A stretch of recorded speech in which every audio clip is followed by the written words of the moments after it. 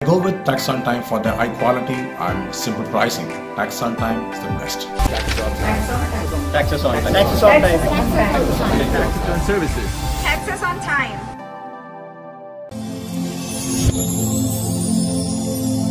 தளபதி விஜய் சர்க்கார் படத்தை தொடர்ந்து தளபதி sixty three படத்தில் நடிச்சிட்டு இருக்காரு இந்த படத்தை தெரிய மெர்சல்னு வெற்றி படங்களை கொடுத்து அட்லி தான் டைரக்ட் பண்ணுறாரு ஏஜிஎஸ் என்டர்டைன்மெண்ட் நிறுவனம் ப்ரொடியூஸ் பண்ணுற இந்த படத்துக்கு ஏஆர்எம் தான் இசையமைக்கிறாரு. இந்த படத்தோட படப்பிடிப்புலாம் ரொம்பவே பரபரப்பாக போயிட்டு இருக்கு சென்னையில் தான் இந்த படத்தோட ஷூட்டிங் நடந்துட்டு இருக்கு அதனாலேயே பல பிரச்சனை நடந்துட்டு இருக்கு ஏன்னா விஜய் எங்கு சென்றாலுமே அவரோட ரசிகர்கள் கூடவே வந்துடுறாங்க. அதனால படக்குழு ரொம்பவே அப்செட்டாக இருக்காங்க. ஏன்னா பீஸ்ஃபுல்லாக எடுக்க முடியல இந்த படத்தை அப்படின்னு சொல்கிறாங்க இருந்தாலும் வேற வழி இல்லாமல் சென்னையில் தான் நடந்துகிட்டு இருக்கு இந்த படத்தோட படப்பிடிப்பு. இப்போ இந்த படத்தோட ஷூட்டிங்லேருந்து ஒரு ஃபோட்டோ ஒன்று வெளியாயிருக்கு. ஏற்கனவே தெரிய படத்தோட இன்டர்வல் சீனில் ஒரு பிரிட்ஜ் ஒன்று காமிச்சிருப்பாங்க. அது சென்னை நேப்பியர் பிரிட்ஜ் அதே போல தான் இந்த படத்துலையும் ஒரு பிரிட்ஜ் சீன் இருக்கு போல.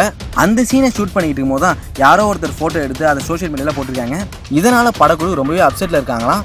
மேலும் இந்த படம் ஆகஸ்ட் மாதமே ரிலீஸ் ஆகும் அப்படின்னு ஒரு வதந்தி ஒன்று போயிட்டு இருந்துச்சு ஆனால் அது எல்லாமே பொய் அப்படின்னு இந்த படத்தோட தயாரிப்பாளர் ரச்சனா கால்பாத்தி சொல்லியிருக்காங்க. ஸோ இந்த வீடியோ பற்றி உங்களோட கருத்து எனக்கு கமெண்ட் கமெண்ட் பண்ணுங்க. இந்த வீடியோ பிடிச்சி நான் லைக் பண்ணுங்க ஷேர் பண்ணுங்கள் அப்படி சப்ஸ்கிரைப் பண்ணுங்க. பக்கத்தில் உள்ள பெல் பண்ணி கிளிக் பண்ண எப்போ அப்லோட் பண்ண வந்துடும்